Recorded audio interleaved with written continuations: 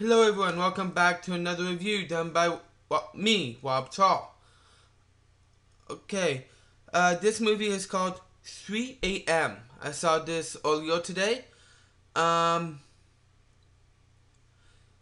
it was actually, it was actually good. It wasn't very good, amazing, anything like that, and it wasn't bad. It was good. Um, there's two actors in this I do know. Danny Glover, as you might see in the top left corner, and uh, Michelle Rodriguez. Yeah. Um, storyline wise, it's about um,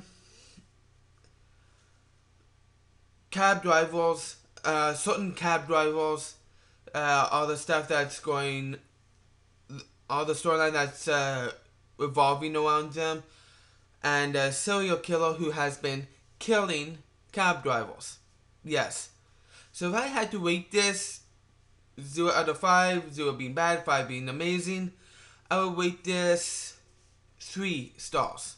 Yeah. So that's it for another review. Join me for another one I tend to do soon. Bye.